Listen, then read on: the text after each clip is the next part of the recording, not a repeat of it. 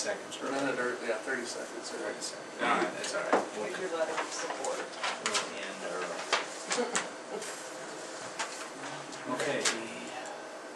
Um, What do we have? Tax roll corrections. Mm-hmm.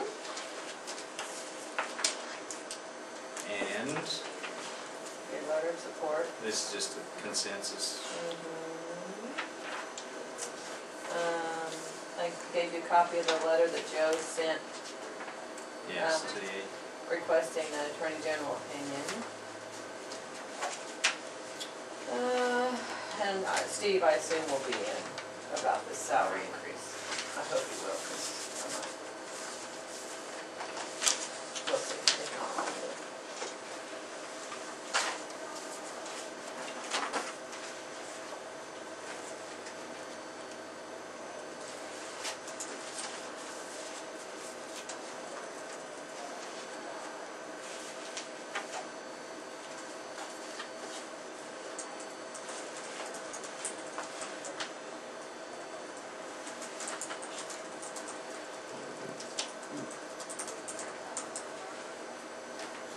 And this is Melissa Dowd, she is just observing your Hi, for Melissa. one of her classes. I tried to cover, cover a political meeting. over. I didn't know if it Oh, was you came to really Yeah. So, long. that's why she's here. You're at Barton County or Four days. Fort Hays?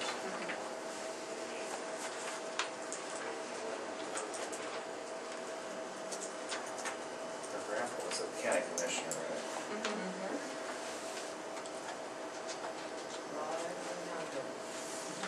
Yeah.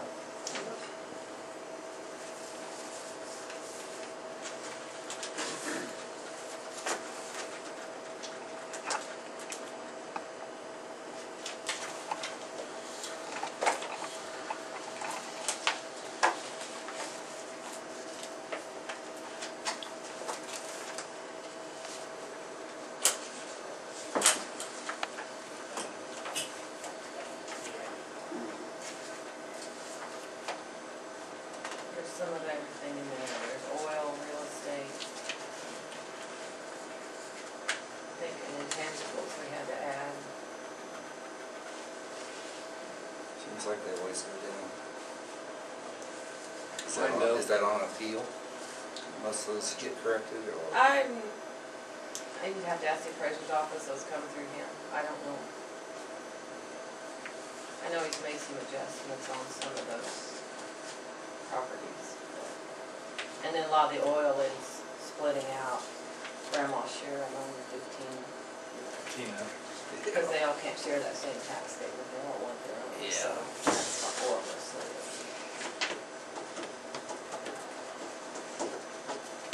I just wondered. if- So we still have a couple of townships that have intangible tax.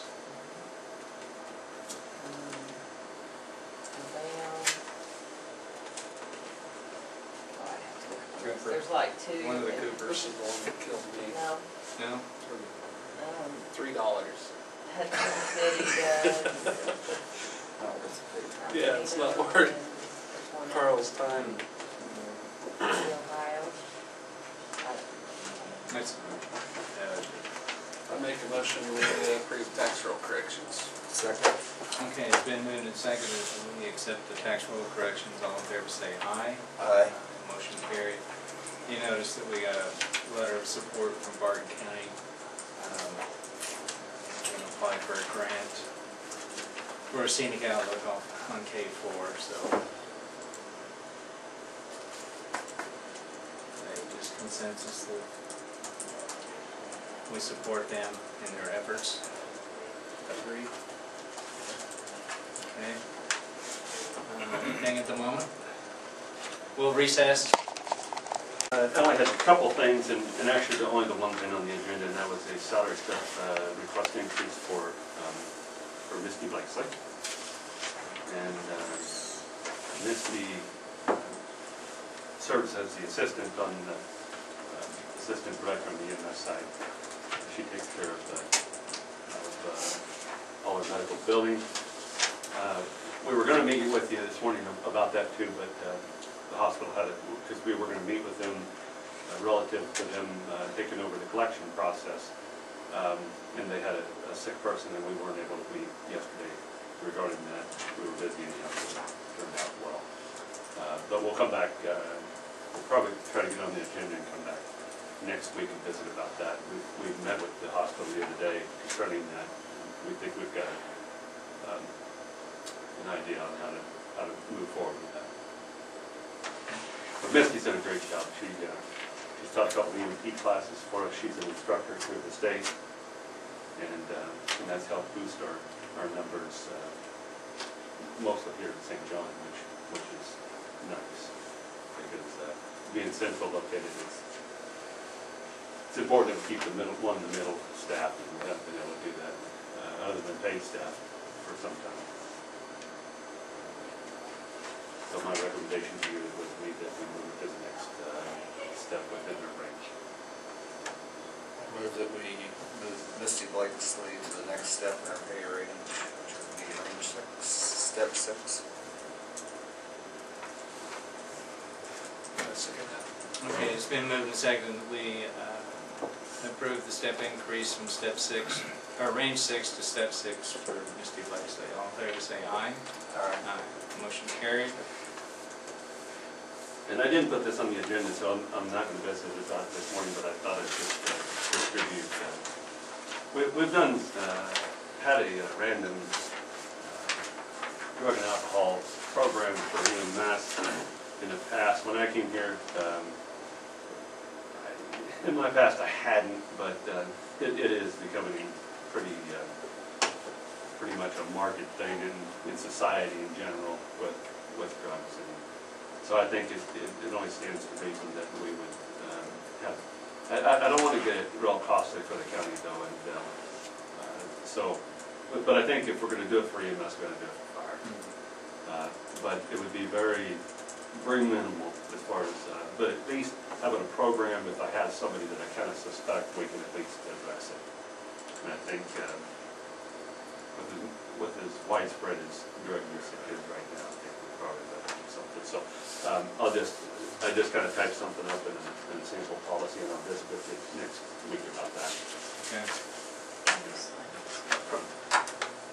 I don't know if you have, uh, if you have time this morning to uh, adjourn for just a, a moment and take a look at the two trucks. We, we went and got them yesterday, they're right out here. We'll- We'll recess. Got this yesterday. Um, We've been working with the state animal health department uh, for about a month now. We're gonna host a emergency responder program. It's one of three in the state this year. And it'll be in the annex on the twenty-eighth. And I've taken it around to the local police departments, sheriff, and uh, to the cities, and we're gonna email it out too. But they've sent it out to a whole list of people, and also uh, veterinarians, there are some credit hours for veterinarians and stuff too, but, excuse me, clogged up here. Um, but just thought you ought to be aware of it, because if we would have an emergency, like foreign animal disease, foot and mouth, it would basically shut down the whole county, everybody would become involved. I mean, anybody with a loader, tractor, resource to hold Yeah. animals, so I thought you ought to be aware of it. If you are interested in attending, there will be a meal, uh, there's no charge. You do need to either call the number on there or go online and register for it though, by the fifth, uh, fifteenth, I think is the date. Now, I talked to her yesterday, even though they only went out, uh, Monday, I guess they went out Monday. She said we were the second largest response already, so, Be Fe- February eighteenth for St. John. yeah, it's eighteenth, okay. Eighteen? Yeah, it's to, to register. Oh, yeah. to register, it's the twenty-eighth though. Like I say, it'll be in the courthouse, or I mean, in the uh, annex in the big room. I talked to Mead earlier about getting that set up and as far as reserving it, so. But they're expecting, uh, they've said last year when they did these, they had close to fifty people, and they've already, like I say, within two days, I think she said there was 20, 25 already signed up for it. So, but like I say, we're veterinarians, you can get seven hours of credit for it. And there was a letter separate that went out to vets, looked just like that one, except it told about their credit hours. So we should pick up a lot of veterinarians and some other people too, I would think. But like I said, I thought you ought to be aware of it going in, because like I said, if it was, it probably would be a thing where I know when we did the foreign animal disease meetings and put together those committees several years ago, um, with with the state health department, animal health, it was basically, they, I mean, they said records at one time, there was like five hundred thousand head of cattle on the road at any one time in the state. And it, uh, so, it would be basically find a place to put those animals and locating them and finding homes and, like I say, if you had to destroy them, it would involve probably everybody in the county type Is this something Philip needs to go to? It probably wouldn't hurt. Steve, I took it to Steve have already. you? Okay. Yeah, I took it to Steve. Does Philip know? I have not taken it to Philip. Um, But if you'd like to, I can give him a copy of it. I have not got that far with it Yeah, yet. you might drop one. Okay. But like I said, I dropped it off by the sheriff's office, took it over to Stafford to the police department. um, I think where else here, uh, sent one. We've got a couple vets that are close by that have sent some stuff too. and I emailed it out to them because I like those on email, and I'm gonna email out to our producer list we have. So if any producers, because there are some that probably should be interested in it, especially the feedlots and like the- some of the swine producers and things, those specialists. But I just wanted to make sure you're aware of that, and if you're interested, glad to have you down I here. got a question for you. Yes. Eh, Did they ever do anything, you know, the hot subject a few years ago was permanent identification of animals. Have they just kind of forgot about that? No, there's a new, some new regulations that they just came out with, they're still, I think, in committee. Um, but hopefully in the next few months, they're going to have tags that can be put in, but they don't have to be put in by the producer, they can be put in by a veterinarian. Like if you haul your cattle to a sale barn, they'd be put in there, um, but they will be traced back, they will have to have the traceability back to them. But it's not quite like it was several years ago, there a couple of years ago it was, and like the uh, sheep, they have to have the, uh, well, we call them the scrapies tags, but they're the federal tags. Any, any sheep and goat that is intact over a certain age, female or male, has to have that in it. And that's why we've had saying at the county fair, that's one of our requirements, and that's come from the state, that they have to have that scrapies tag in their ear in order to exhibit at the fair, because of traceability and coming back. Uh, but it's coming there, because there a couple of years ago, Farm Bureau got into the mix of, and I think they've kind of dropped out of it, because they were gonna do a record-keeping database, sell tags and put them in and keep all that information, but it just never, like I say, dropped out of Yeah, sight. I never hear too much about it Yeah, anymore like used to. Yeah, because they wanted, originally, when this all, like some of the foreign animal disease and the BSE and that stuff hit, they were talking, that they wanted to be able within twenty-four hours to trace back where that animal originally came from. Yeah. And uh, so it is a big concern, and with the animal agriculture here, I mean, it would just devastate the county or the state if something like that would happen. And it would be easy to do, because that's why a lot of feedlots and places have locked down where you can't get in without going through the main office first. But where these feedlots settle on the road, it would be fairly easy for someone to cause some havoc, because a lot of these are airborne, airborne pathogens that you just basically throw it out the windows you drive by if somebody wanted to cause an issue. Yeah, I didn't think much of it at the time, but I do, on something like this, it'd be a good idea to be able to trace it back. but- yeah, because we, uh, like I say, when this all started several years ago, we worked with Dr. Sam Graham from the Animal Health Department, and we put together a committee, this was back, well, actually before Jason Bolt was here, because I was chairman of that committee, and then when Jason came, we turned all that information over to him, and there is a plan in place somewhere, I don't know where it is now, like I said, that was, but it, I'm sure it probably still, it had to be sent to the state also, but it lists producers who are in charge of doing this, finding locations for the animals. We have to go through and basically do a survey of the county, who has, um, who has backhoes, who has bulldozers, uh, who has uh, lots that would be available to handle animals if we had to shut down, because if there was something ever happened, they shut it down at the state line, nothing. And then basically those cattle, wherever they're at at that time, stop. They don't go any farther unless they're going to slaughter. If they're transported to slaughter, they can go ahead and take them to the slaughter plants. But if you had a load of cows on your truck, you basically gotta take them to the lowest, closest place, and that's where they go. Or have to stay until they find out they have to be destroyed or not. And then it's a matter of finding a place to dig a hole and dispose of them. And so it, like I say, it could be devastating. At that time, like say, that the county was involved, the bridge guys, because they'd probably have to be responsible for setting up barricades, because there was, I mean, it was like within a so many mile radius of wherever the location was, had to be shut down, nobody in and out. Uh, working with, uh, health, local health department, they had to find, uh, work with them on finding like, um, things to sterilize the equipment, uh, power washers, sterilants. And the county was basically responsible for twenty-four hours until the state and Fed could get here. And so it's kind of a scary deal if, like I say, it was gonna involve a lot of people in the county, that would never happen. Yeah, because like I say, we've got, a like I said, there was a list somewhere that the producers had had little feedlots, what the capacity was, so if we needed a home, this is where they go and I don't have a feeling. But there are producers that were contacted, they would be in charge of finding panels and portable corrals, other producers, I mean, there's lots, I mean, it was a producer, we had about 30, 40 producers showing up at these meetings. And they were ones responsible for helping locate facilities, locating the panels, water tanks, stuff that keep animals alive until they decide what they actually had to do with them. Hmm. Because at that time, tests had to be sent to uh, New York, Plum Island. That's where the federal lab was. Now it's gonna be moving up to Manhattan if they, when they get it built. If they get it built. Well, they broke ground, but that will be the new lab there. But, so, and I know the animal health department, they've got a trailer, you might have seen, they had state fair for years, a trailer that they brought in that had like a load shoe where they run the cattle up. You had to euthanize them and then pick them up on the side and haul them to the hole. So it's quite a deal.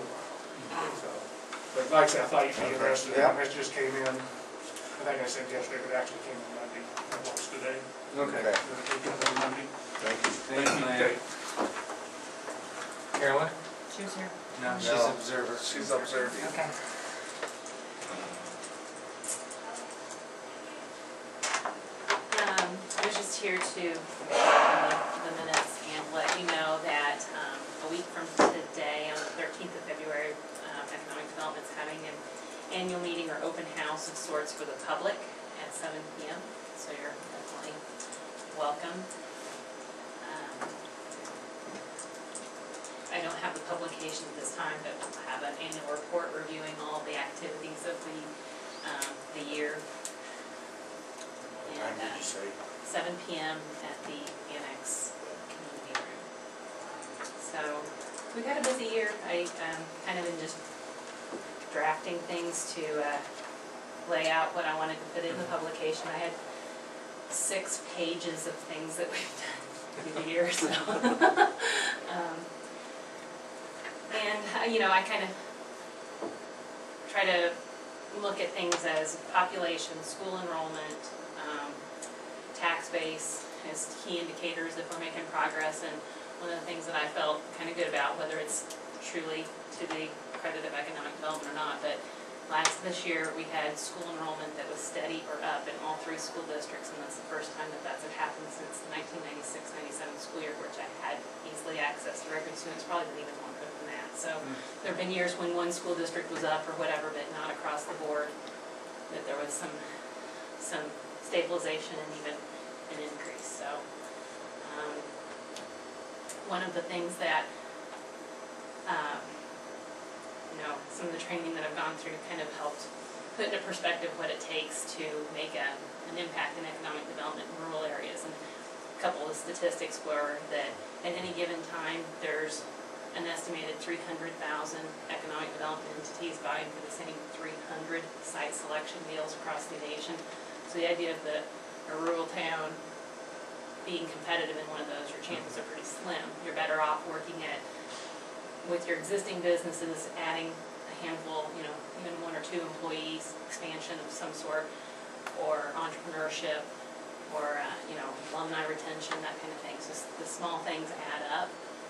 And, uh, and another way of putting that into perspective, um, our population declined about ten percent over the period of two thousand to two thousand ten. That was what made us right there in the, eligible for the rural opportunity zone incentives. So that's three hundred and fifty people over the course of that decade. you kind of boil it down, thirty-five people a year out of the county, you can boil it down a little more, twelve people on average per school district. If you could hold on to four of those students on average, you know, whether or not they go away and go to college or mm-hmm. have experience somewhere, but on average, if you kept four people from your, from each class, and they marry and have a, a family, you know, they use a factor of, multiplying factor of four on average, and if they marry and have a couple of kids, one person's anchoring four people. So you really only, or three people, three people in addition to themselves. You really only have to hold on to four people for, each gra- graduating class to maintain the population. If you kind of start boiling it down like that, then it seems a little more attainable, and doable. And when I say that we've, we've worked with, you know, for example, we had, um, five businesses participate in the e-community program, or, um, four businesses went through coaching with Small Business Development Center. They're not big numbers, but when you put it in perspective that we only need to hold on to four or five people per year per school district, then I'd like to think that that's where we could be having some impact. So,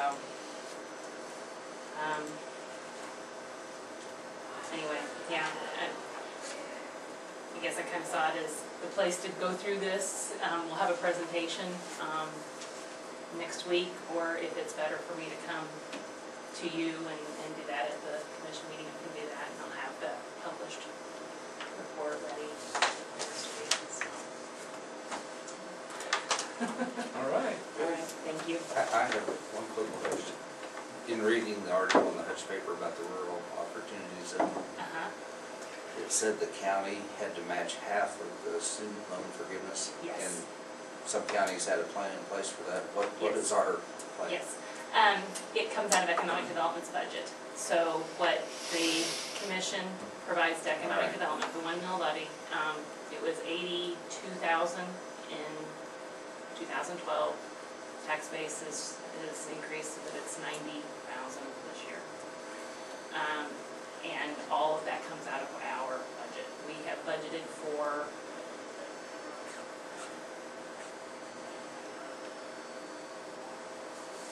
We have three participating right now, and a wonder if we fourth one has just qualified for two thousand thirteen.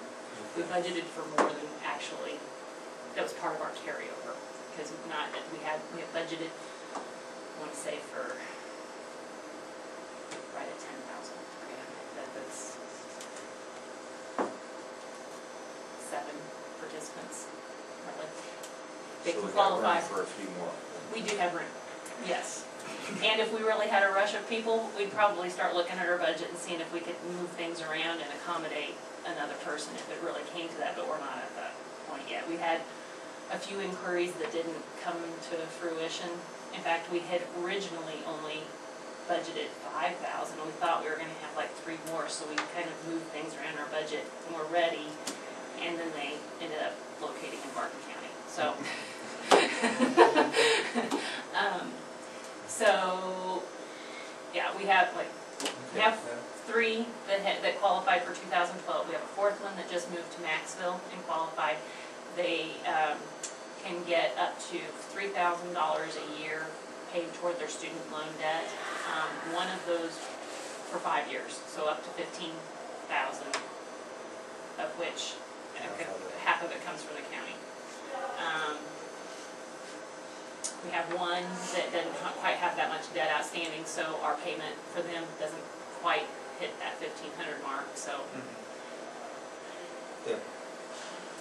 I just didn't know how that works. Yeah, and some counties have opted in and some haven't, or some have, I think Pratt, for example, opted in, but they're maxed out. In fact, we had an inquiry from someone that lives one mile over the line and would like, to- he made the case that he does business in Stafford County and things like that, but. Last week when uh, Carl was up here and kind of brought us up to date on some stuff he was working on, he brought up some greenhouses that you guys are working on. Can you fill us in on what you, what's going on with Sure. that or what's?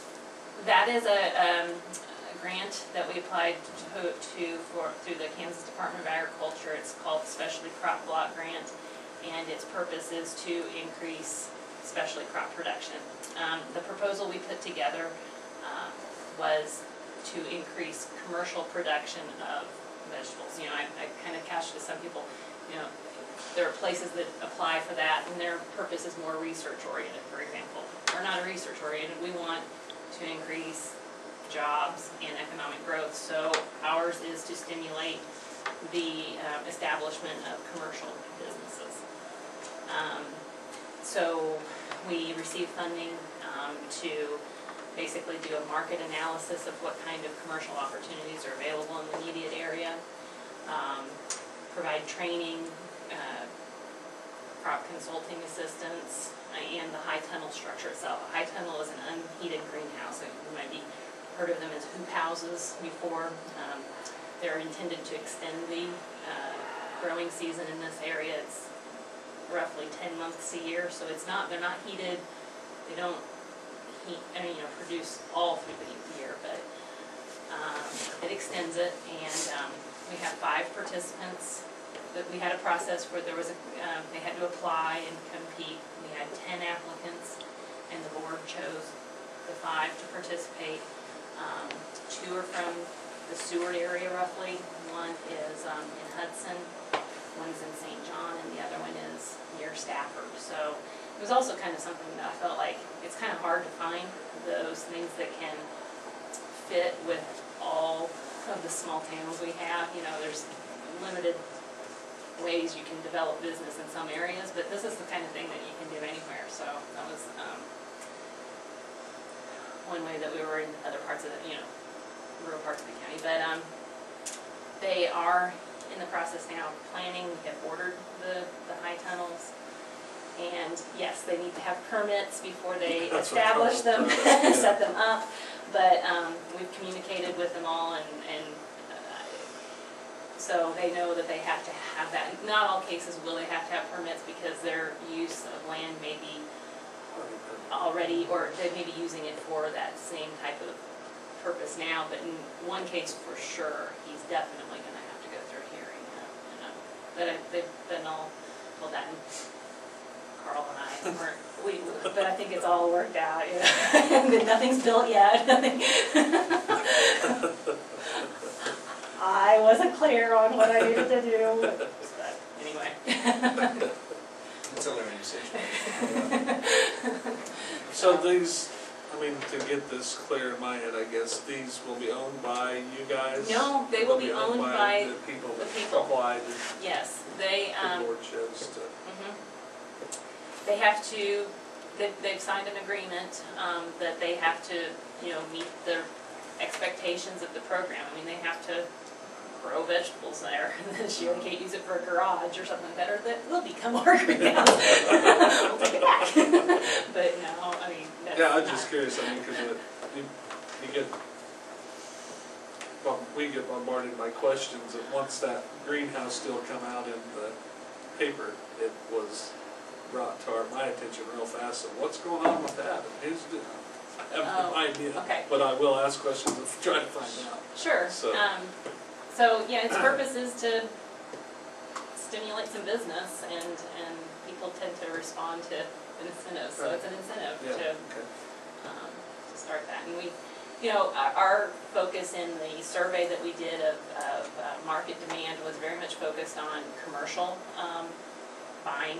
Uh, you know, we've kind of said that you find opportunities in farmers markets, which I think a lot of times you hear a lot of focus of farmers markets for locally grown produce. If you find outlets for that, that's great. It's just that it's so seasonal that it's hard to see how that, um, produces a year-round job. And, um, so we've been more focused on trying to help them know what the requirements are for selling to warehouses or just, you know, year-round commercial buyers, what kind of um, certifications you need, whether it be HACCP or GAP or whatever else. Um, And we're, we're just trying to help them get established so that in year two and beyond, when economic development isn't gonna be involved at all, it's gonna be their thing to continue, that they have um, had a good start and So after it's established, they report to you on a. They'll report to us through this or- year, for, through For this, one year, this that's- one-year period, and beyond that, our part of it will Is be over. finished. Okay. Okay. Okay. That answers my question. All right, After thank you. one year, the strings are cut, Yeah. either sink or swim. Thank you, Carol. Thank you. What's the issue about the annex exterior lighting? It's been brought to my attention that there's unhappy people that their, that place is lit up like Las Vegas on every day of the week.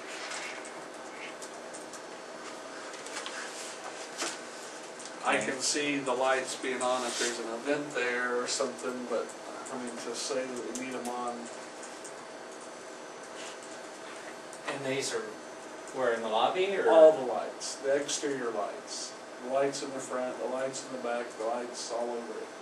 The lights in it, there's a hallway light on the whole length of the building, the, lo- some of the lobby lights are on, all the lights in the front. Are they on timer or is it? I don't day- know, day I mean, it's been told to me they're They're on all the time, The, the inside lights are motion, Motion. but those Yeah. outside ones are on all the time. the dark, Day you night. They just yeah. think it's, the people that it was expl- explained to me that it's unnecessary. I can see having lights on a few of the entrances on motion switches, but I mean, I, or if there's an event going on, I mean, I can see having the front lights, the exterior lights on, but I mean, it does seem a little bit, Are they concerned about the light or the amount of energy we're using? both. I mean, Is the light it's, they longer? think it's unnecessary that it's eliminated as it is. So I said I would bring it up. And those are pretty small lights in those things. Looks I mean, like- like on the sidewalk?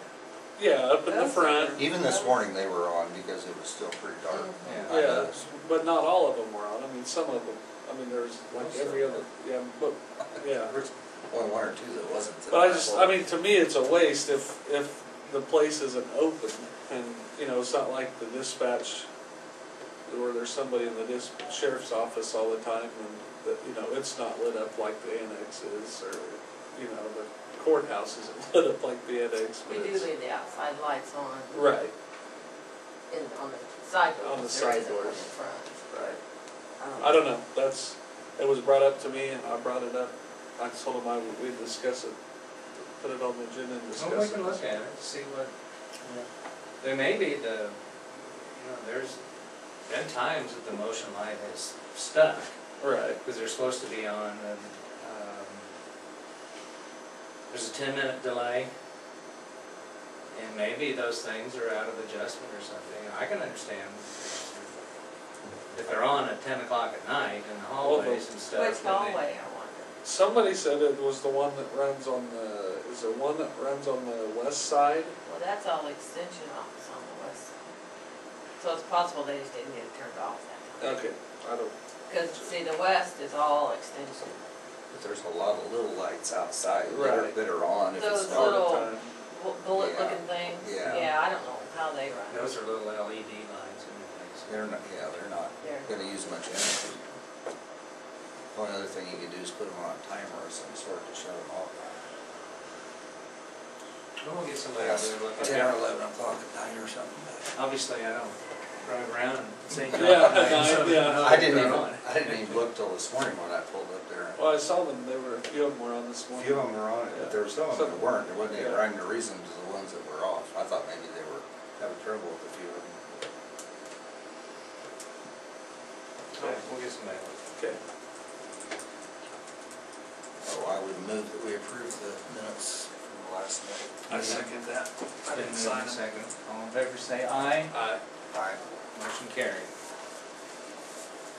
Who suggest I have with it, Um, since it's out of warranty?